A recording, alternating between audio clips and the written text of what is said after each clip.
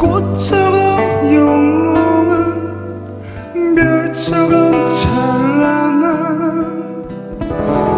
진주가 될 우리가.